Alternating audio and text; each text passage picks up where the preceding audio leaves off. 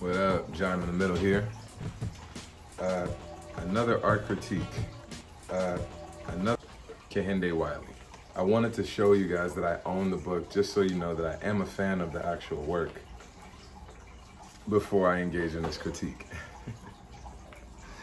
that said, let's start with the Princess Victory of Saxe, Coburg Gotha, Quincy Flowers. I mean, obviously it's gorgeous. It's so well done from the leaves, the depth of the depth of field, as we see that the leaves are layered, the flowers that provide beautiful pops of color and therefore balance throughout the whole composition.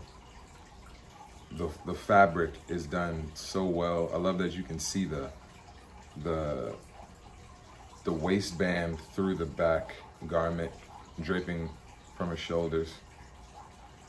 Aesthetically, it's very pleasing, it's beautiful. No argument. Here's the thing. And I find this to be a theme with a lot of Kehinde's work, is the, the references of European models. And I gotta be clear, it's not my place to tell any artist or suggest to any artist what they should or shouldn't make, how they should or shouldn't make. That's up to the creative. At the same time, I'm of the opinion that black art has an opportunity to help black people. And if black art, or what's considered to be the best of black art, or what's considered to be an example of excellence within the realm of black art, is referencing European art, then what's the message? As it pertains to this piece, all I can think is that it's a missed opportunity. We see this beautiful black woman and her shoulder and her arms and the back of her neck and the side of her face, but we don't see her face.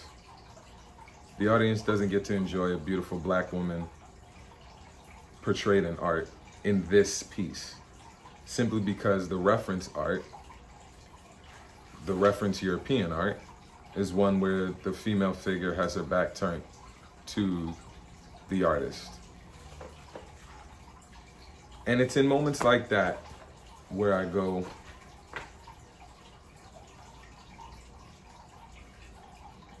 is the artist considerate of the potential impact on the audience or the potential impact on the muse? The impact that can be had on the muse. When I was a kid and I'd look, look for art that reflected me,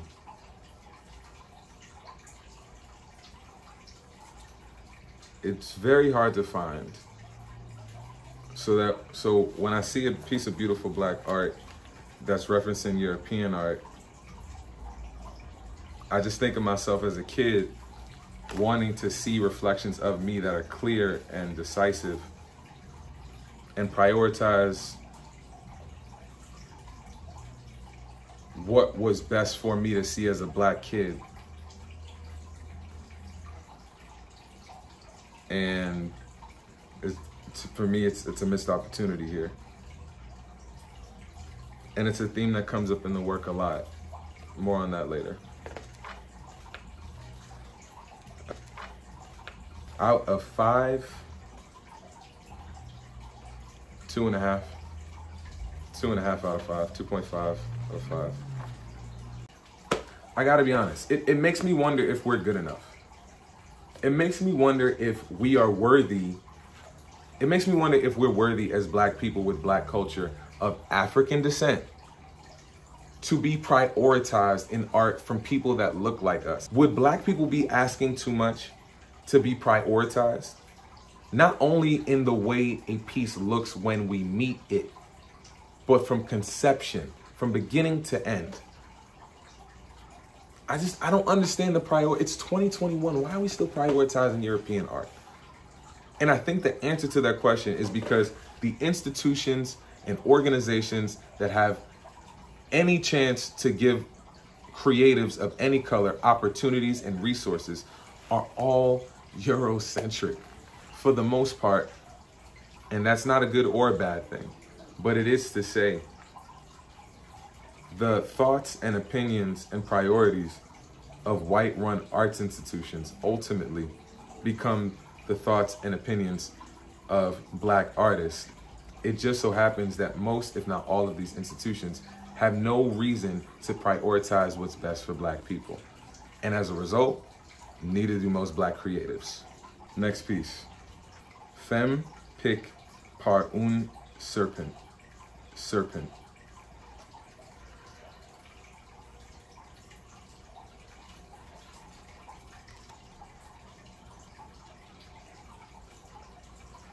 Um, very well done. Kehinde is a master renderer.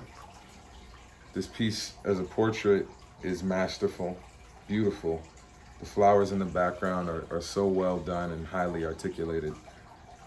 I love the pattern in the shoes, the way that the pants reflect light.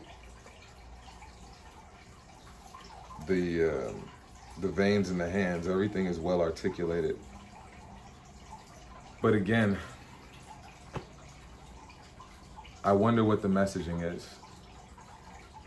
This is another instance where the reference art is a piece of French art by Auguste Sligier, Seliger, Selinger? I don't know. And I'm not embarrassed that I don't know. And as a sculpture, as a piece of reference art, it's beautiful. But again, I wonder what the messaging is. And furthermore, I wonder how could this have helped black people? One of the questions that I have for black art in general, and one of the questions that I'm constantly posing for myself in my own arts practice and my own work is how can black art help black people from providing images that it would benefit us to see to referencing aspects of our history that most of us may be unaware of to introducing innovations and inventions to society, to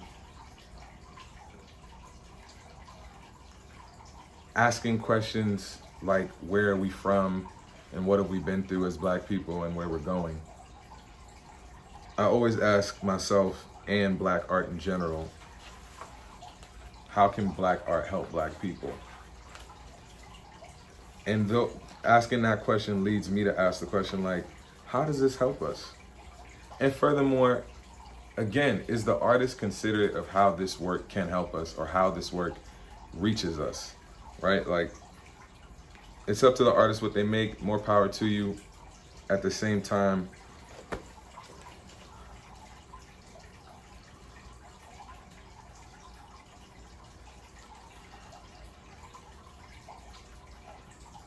There's nothing wrong with this painting. There's nothing wrong with this subject matter.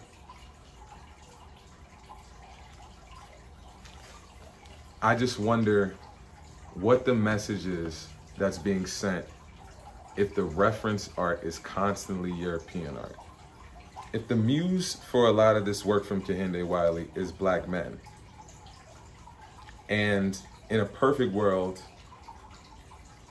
an artist finds a way to, re- and in a perfect world, artists are constantly returning and replenishing the muse that they borrow from. How can Kehinde's work replenish the black male muse as opposed to just using it and applying it to European references? and does he care to? I get the and I, I just get the vibe that it's not considered. Just in general, like, is the question how can this help black people being asked? Or are we simply expressing whatever we want to express? Which is fine. What is the intended message to me? And why does this message always have a European reference? And when I when I when I ask myself that question, I think the answer that are I think the answer that are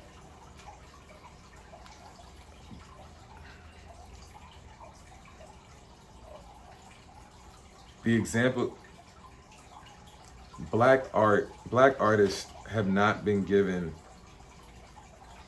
a reason to not prioritize European art. That's what it is. Black artists have not been given a reason to not prioritize European art and instead to prioritize what is best for black people to see, to experience, to become literate in, to understand, to comprehend. While I'm not completely sure why any artist does anything, I do think there's something to be said about the constant application of black bodies to European art that already exists. Like I, I, I just think part of my, part of the the issue for me is we have so much talent and ability and vision and because we're not thinking about how this can be applied to help people, this being art, right? Because we're not thinking about art the same way a lot of the figures from the Harlem Renaissance were thinking about black art and addressing our issues and asking questions about where we've been and where we're going and what we've experienced in the South and what we've experienced in moving to northern cities like Harlem, New York City. Those questions that were being asked in the mid 1920s during the Harlem Renaissance were questions that were relevant during the Harlem Renaissance were questions, and they made for timeless works of American art, American literature, American paintings from the likes of Romare Bearden to, to, to sculptors like Augusta Savage and Selma Burke, to prolific writers like Zora Neale Hurston and Alain Locke and James Weldon Johnson and W.E.B. Du Bois and Marcus Garvey. All of these people that were asking questions that made sense for black people to ask about our culture And this work is such a far cry from that for me, in my opinion, because it just it it dodges an opportunity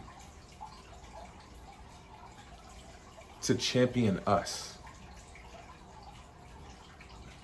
To champion us and I don't even know that it is the intent of Kehinde Wiley's work to deify European art or European culture as much as it might be an attempt to appease European art. When your model of success is one that was created without you or your people or what's best for your people in mind and the group that you come from does not have their own arts institutions, you have to entertain the priorities, the thoughts and opinions of the institutions that can potentially help you, can potentially buy your work. The patrons that have the resources to pay for your works. Whatever they like, whatever they're into, you got to go with. And whatever they're not interested in, whatever they don't have um, stake in, they're not as interested in. And if black people are not controlling their own arts institutions, if black people don't have their own independently run arts institutions, then who then then who will be available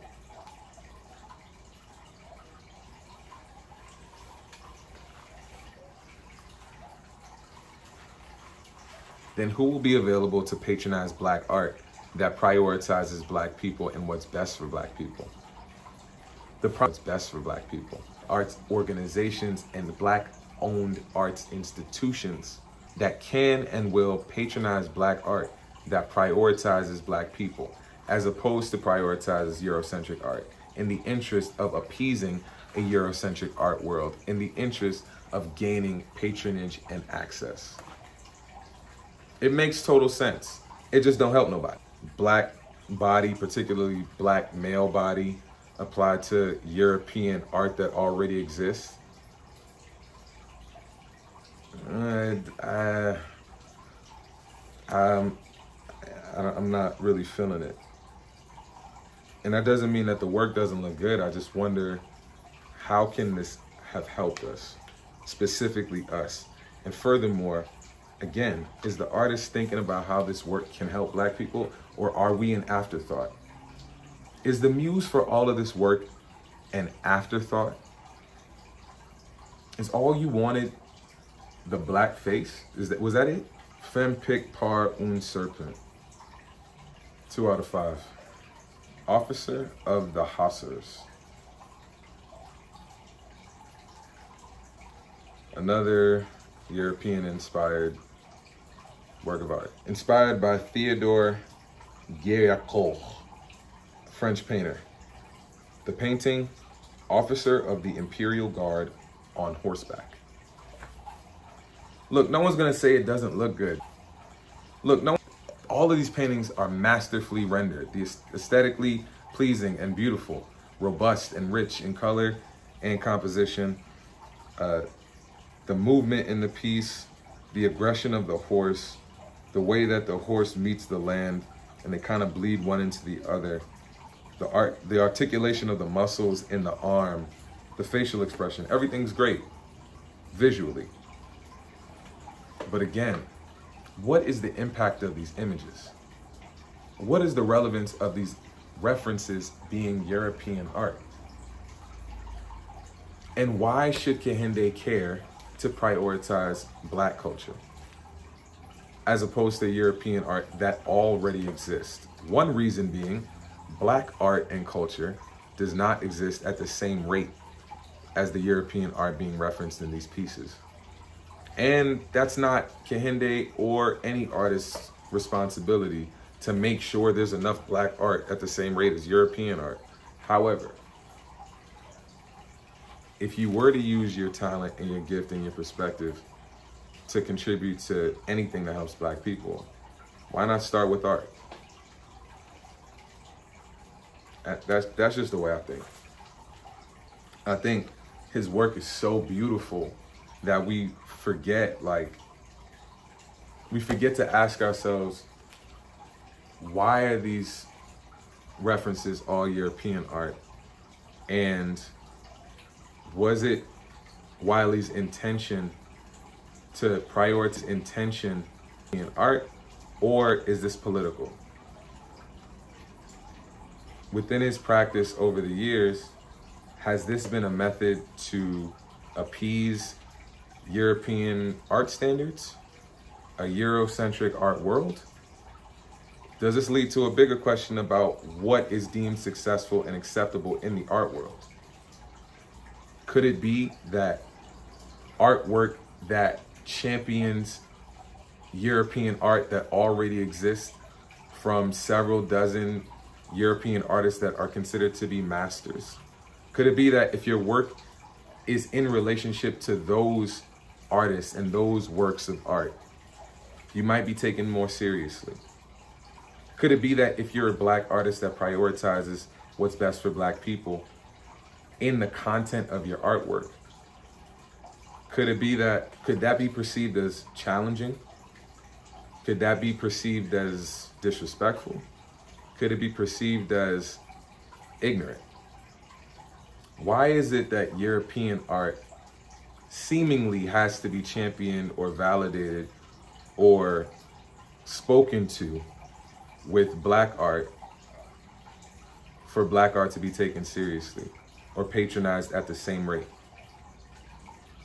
I don't know why Kehinde keeps using all these European references. I'll be honest. I, and I, I'm not really into it. I don't fuck with that.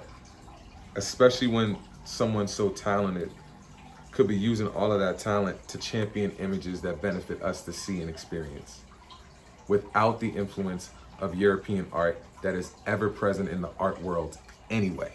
Officer of Hussars, three out of five. Kehinde's work is masterful, beautiful, and timeless. The paintings are clearly well rendered and beautiful reflections of everyday black life. Black people can benefit from the arts provided that black creatives are returning and replenishing to the muse that is black culture. And if we're busy prioritizing European art and simply coloring it with a black face, we just might find that that art doesn't help or resonate with most black people past how it looks.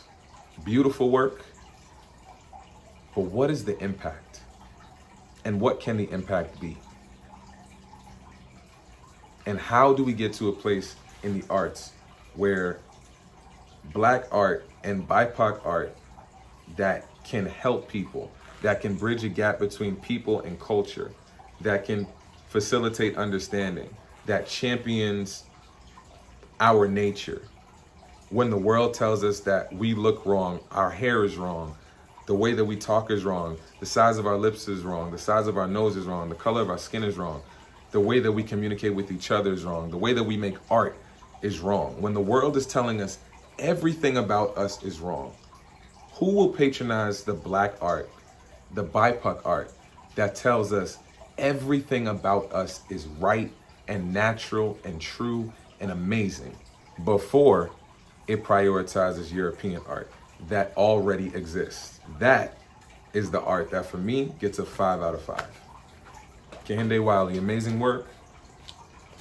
I'd love for Wiley to be more considerate of the potential impact of his work on the muse that he consistently borrows from. And I'd love to know what you think.